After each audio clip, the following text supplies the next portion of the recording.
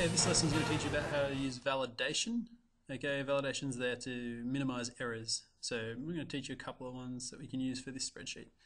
Um, so the first one we're going to look at is uh, drop-down lists because this column here would work much better with a drop-down. So to do that, you highlight the cells you want to apply the rule to, and then you go up here to data at the top, and then validation, and then you go down and allow a list. Now, I could select um, a list, you know, from a table. Uh, if I clicked on source and highlighted these cells here um, and pressed OK, I would then have, you know, a list of all these people's names that I could then put into my uh, drop-down box. Uh, but obviously that's not what we want to do for this tutorial because the agenda isn't your name. Okay, but that could be handy later on. Um, so let's just press undo and go back to data validation after selecting what we want it to do. And uh, I just want two letters, M and F, so I'm going to go M, comma, F. And that's it. Now I can chuck in input and error messages that tell people, you know, what to do when you move your mouse over it. Uh, and an error alert that'll pop up when they make a mistake. So I could just have an error alert, only enter, only select M or F. And I can probably make that the uh, input message as well.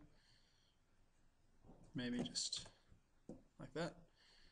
Um, I might even go over here and customize the little symbol. There you go. Press OK.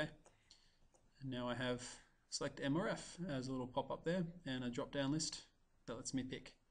Okay, if I tried to type in a number, that my error message would come up.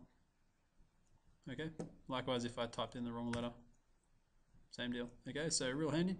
Um, the next one we can do is uh, can customize what numbers go in here. So we only want numbers in there and we only want them between certain values. So hourly rate in dollars. So highlight all of them, get a data validation, um, and no one's going to get paid, you know, 100 bucks an hour as a used car salesman. So uh, generally get down here to decimals and allow, you know, between 20 bucks, which would probably be like, you know, minimum wage. Um, and about, I don't know, just go with 99 for now um, so that it's kind of feasible. Press OK. And now if I tried to type in 19, I'd get an error message. Okay, obviously I haven't customized the error message, so I should do that too. Type in, please enter an amount between 20 and 99. Okay, so now that if I make a mistake, I know why. Okay. Um, cars sold, I don't know, try and make that one logical. Go to settings, change it to a whole number because you can't sell half a car or a decimal point or anything like that. Um, and I don't know, zero if you end up like this poor Timmy Sanderson bloke. And a maximum in one week, I don't know, 150. If you sold 150 cars in one week, you'd be the best salesman ever. Um, error alert, please enter a number between 0 and 150. Now, I know this one might seem a bit useless, but the main reason why we're doing it is to stop letter input. Okay, so press OK. So now if I accidentally mash the keyboard and press the wrong key, I'd get that.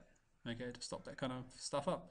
Hours worked, uh, you do a similar thing with that.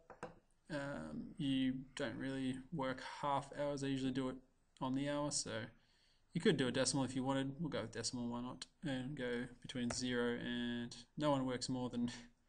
You'd be crazy to work more than 80 or 90 hours, so we'll just go with 90. Type in an error message, enter a number between 0 and 90.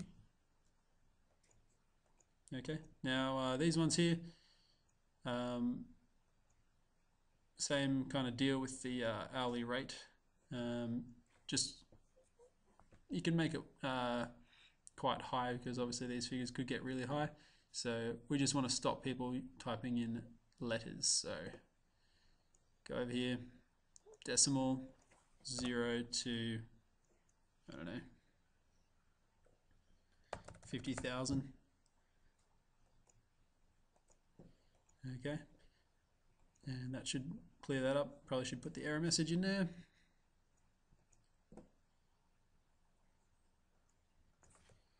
Enter a number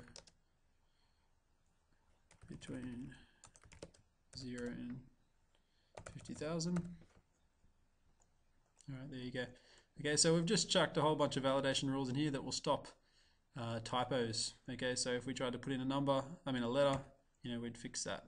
Okay, so uh, doesn't take you too long, and uh, now you got some validation. Okay, now I only explored a couple of the validation rules. Uh, there's a whole bunch of them in here. You can, uh, you know, choose uh, text length. So if you want to make, you know, the name field only have a certain uh, amount of characters, you can do that as well.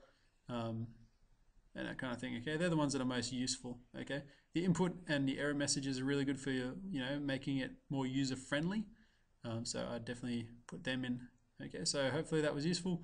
Make sure you've done this to the, your current working Shifty Bob's car sales spreadsheet, um, and you can save and finish now.